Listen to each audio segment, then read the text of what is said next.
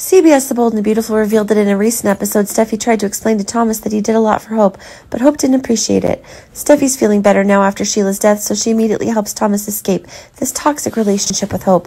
Steffy's afraid that if Thomas continues to sink, he will definitely be the one who will be seriously hurt. Hope doesn't appreciate Thomas's feelings at all, so she won't be able to be happy. Thomas also pondered this. Because he tried so hard, but what he got back from Hope was rejection. Steffy also told Thomas that he should go to Paris with Douglas to live for a while and get his bearings. This is probably the best way for Thomas if he continues to stay in Los Angeles. He probably won't be able to forget Hope.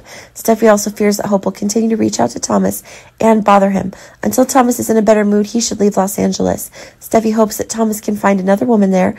Thomas is a sincere man, so he must meet someone who appreciates his feelings. Not like Hope. Thomas hesitates, but he will eventually agree. Thomas would take Douglas with him to Paris. Douglas was still very sad that in the end he couldn't have a happy family with Thomas and Hope.